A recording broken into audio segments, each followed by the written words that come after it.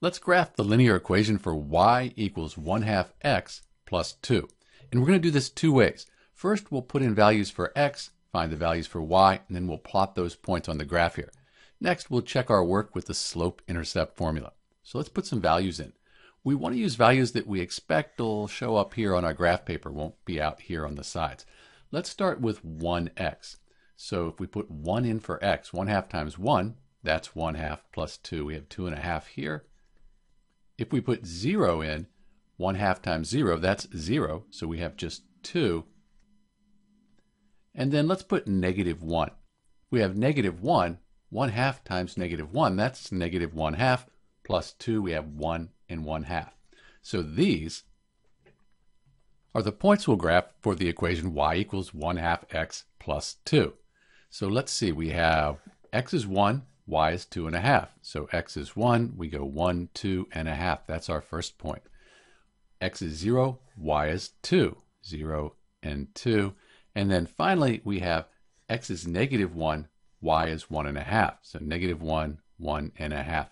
And you can see there's our line for this equation, y equals 1 half x plus 2. Let's put a line through this. And then we'll put some arrows to show that this goes into infinity.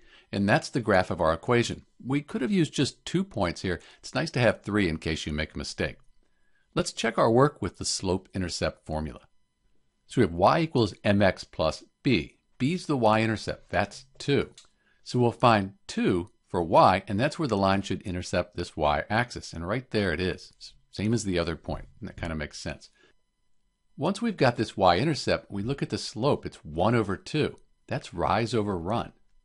So we can go to our y-intercept and we're going to rise 1 and go over 2. Let's do that again. Rise 1 and go over 2. And we can keep doing that. Rise 1 and go over 2. All those points are on the line.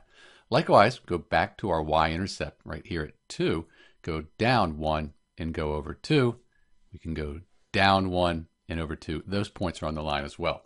So we have the correct graph here for this linear equation y equals 1 half x plus 2. We could keep putting values in for x and finding the values for y. They would all be on this line here.